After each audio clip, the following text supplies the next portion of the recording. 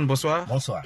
Comment analysez-vous cette situation de pandémie de la maladie à coronavirus, mais qui traumatise toute la Terre et, personne ne trouve la solution? Tout le monde est étonné devant cette situation. Vous, en tant que chrétien, quelle est votre analyse? Mais déjà, euh, monsieur le journaliste, merci.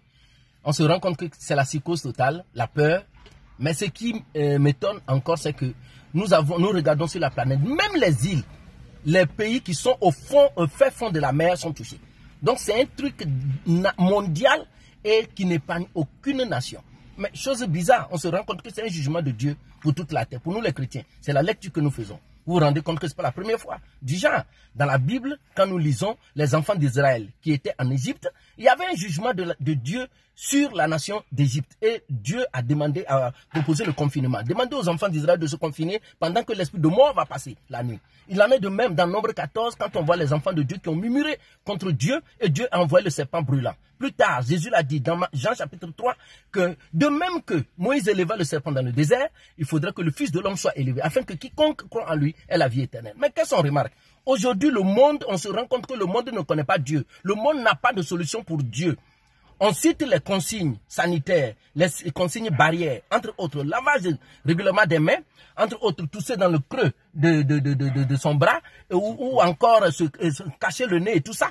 Mais jamais on a vu dans une, une chaîne de télévision, on propose la prière. Le monde ne connaît pas Dieu.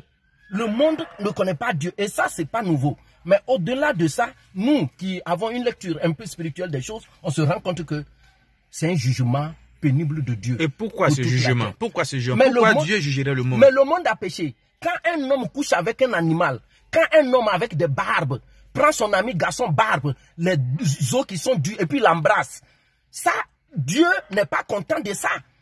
Quand le monde entier euh, encourage la, comment on appelle, la pédophilie, encourage l'homosexualité et décourage la polygamie, vous voyez, le monde entier, le blanc a réussi à nous dire que la polygamie est mauvaise, mais la pédophilie est bien.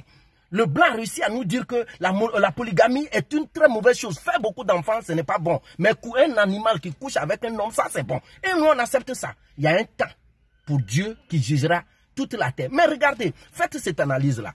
Le blanc arrive à découper l'homme il, il, regarde dans son ventre. Il soigne l'homme dans tout son ventre, il ferme et l'homme vit. Le blanc enlève le cœur de l'homme, il dépose à côté. Il finit de soigner le cœur, il replace dans la cage thoracique et l'homme vit. Mais médicament, juste pour euh, quelqu'un qui tousse, ah, ah, ah, quelqu'un qui a la fièvre, on appelle ça chez nous Quelqu'un qui tousse, blanc n'a pas ce médicament-là. Vous ne voyez pas que c'est un jugement de Dieu. Blanc qui crée avion, médicament de quelqu'un qui, a la fièvre, qui n'arrive pas à respirer et qui a Djekwadjo, blanc n'a pas médicament là. Dieu juge la terre. Mais je suis convaincu que tous les enfants de Dieu seront épargnés. Vous n'allez jamais entendre qu'un enfant de Dieu est, infecté, soit infecté. Encore un vrai enfant de Dieu. Et les chrétiens qui sont infectés alors? C'est ce que j'ai dit, un vrai enfant de Dieu. Vous voyez, les chrétiens qui seront infectés seront guéris. Regardez bien, seront guéris. C'est l'année de même. Ça a été comme ça dans toute, toute la Bible. Ça a été comme ça. Même qu'un jugement de Dieu vient, les enfants de Dieu qui sont touchés par ce jugement sont automatiquement sauvés parce qu'ils regardent à la croix. Merci, monsieur Merci.